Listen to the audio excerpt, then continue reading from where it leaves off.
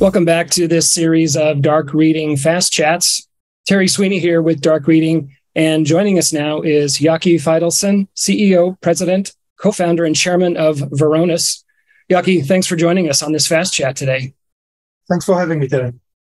Um, let's start uh, with just talking about with so much security spending. Um, why is it that we're still seeing these catastrophic breaches like like the one we saw recently with the classified documents that were leaked by that National Guard airman recently?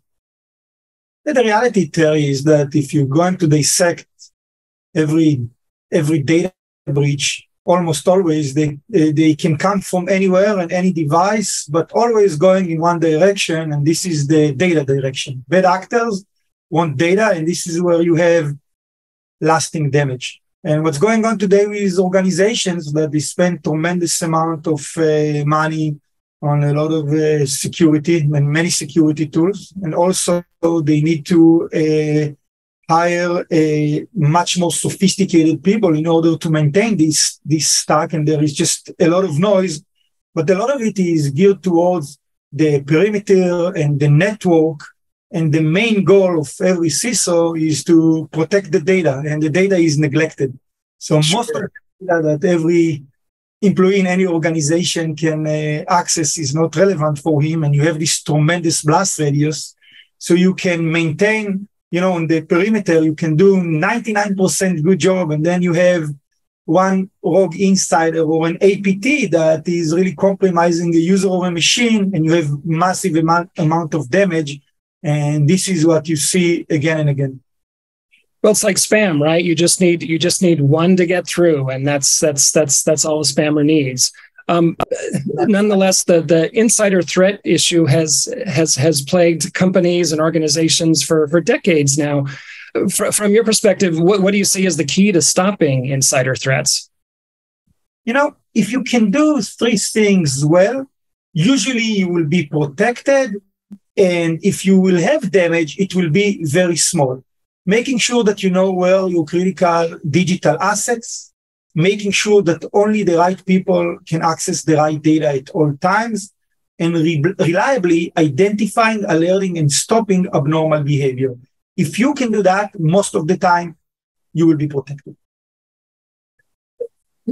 Given all this, uh, that so much of our critical data lives in the cloud, whether it's Microsoft 365, Salesforce, Google, Amazon. Um, does cloud based data make it harder or easier to protect? It's, it's, a, it's a very good question. Most of the time, much harder because the SaaS applications, 365, Salesforce, and others, GitHub, they are geared towards collaboration. They are tremendous productivity tools with a lot of collaborations capabilities but the byproduct that it's create tremendous tension between security and productivity because end users are exposing exposing massive amount of data. If you take terabyte of data on-prem and then uh, versus the cloud, many times in the cloud you have 10, 20 times more exposure. So now think what happened, like you know the Uber attack, like just a, a simple MFA attack. You compromise the user, how much data they, how much data they can access. The other big issue is the cloud is uh, the data path. You have API and third-party applications, so many ways to get into this into this system. So this is a this is a big issue, and the only way to solve it is with tremendous automation.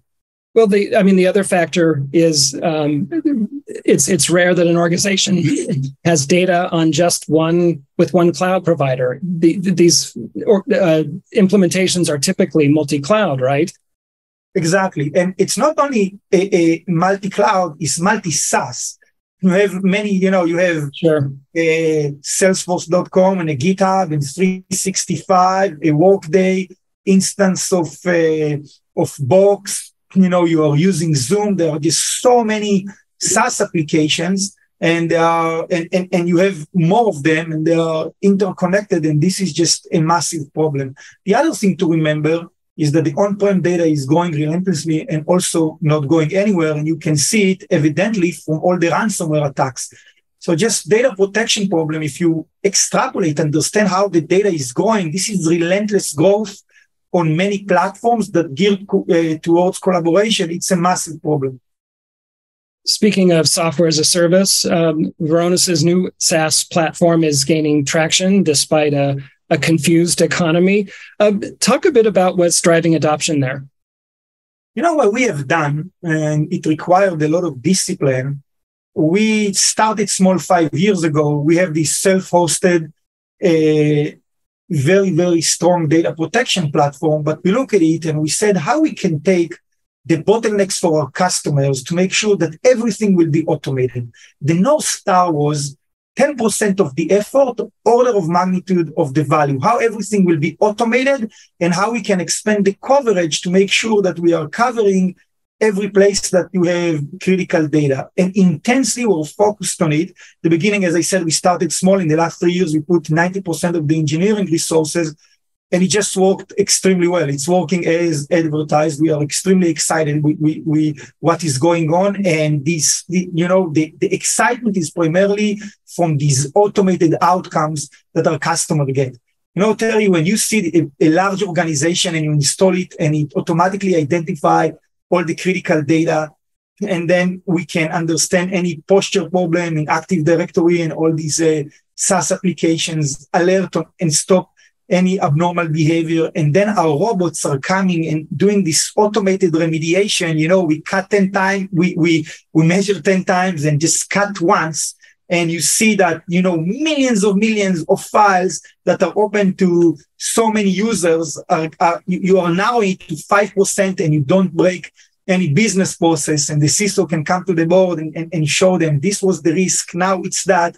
And in terms of the clarity of the alerts, if we say that there is something wrong, it's wrong, and you're finding these APTs and ransomware and rogue employees. And unfortunately, you know, in a hard economy, the organization need to sometimes to let employees let's go.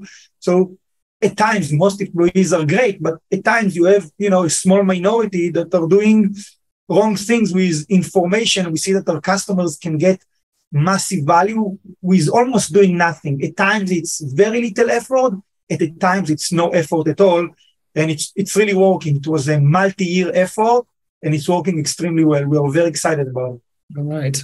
Um, Varonis was also recently named a leader in Forrester's Wave for data security platforms. Uh, apparently, data security is finally getting the uh, the the attention and the status that it has deserved. Um, what do you make of that? Why do you think that's happening now? It's actually where we started the conversations. Attack can come from anywhere and any device, but always going in one direction, and it's the data.